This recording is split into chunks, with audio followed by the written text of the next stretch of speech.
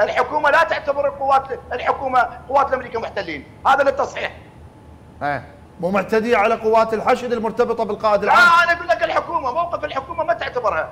ما أنت تعتبر بس فرزن فرزن ما جاي. تفرزن ما جاي. تفرزن أنت جاي تخلي الحكومة واحد وقضية الحشد واحد.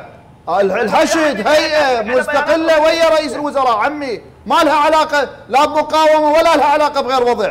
فرزن فرزن مرتبطة بالقائد العام. يعني جاي يضربون القائد العام جاي يضربون سياده العراق وانت تقول لي صديقك اي صديقه كيفك، على هاي؟ كيفك على كيفك على كيفك لا تصيح على كيفك لا تصيح. ما أعرف هاي يعني انت أنت شلون جاي تتحدث؟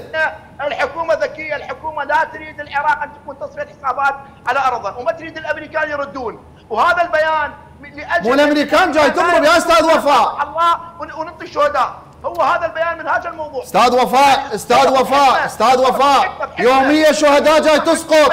دماء عراقية. دماء عراقية لا مو دماء عراقية؟ الأمريكان ارتكبوا الأمريكان جاي يضربون دماء عراقية. يعني. دماء عراقية. يضربون ابن عمك. ويضربوك باكر.